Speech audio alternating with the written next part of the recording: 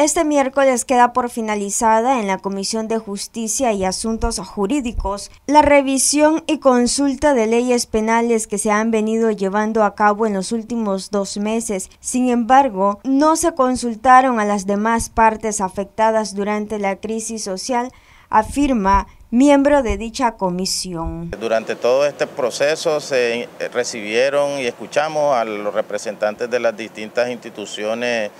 del Estado, afines pues al gobierno y también durante la última semana hemos estado recibiendo a supuestas víctimas del estallido social del 2018 donde han planteado sus testimonios sobre las afectaciones que les produjo ¿verdad? la situación ocasionada eh, en aquel contexto.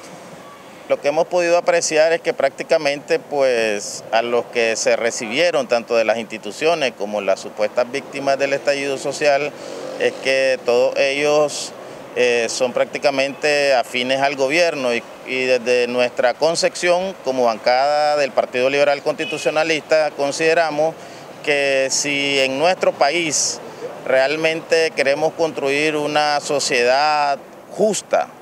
eh, deberíamos de haber recibido también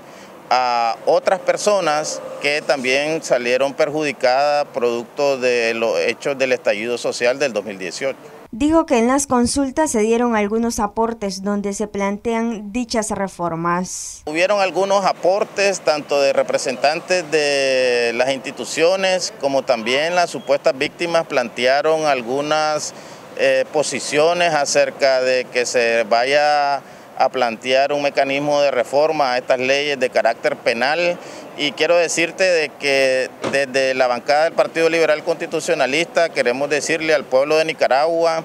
que si la intención de este proceso de revisión y consulta es la creación de nuevos tipos penales y en donde se endurezca, ¿verdad?, a través de una sanción mayor de la que ya existe, la bancada del Partido Liberal Constitucionalista se estará oponiendo rotundamente a esta situación. Noticias 12 Darlene Telles.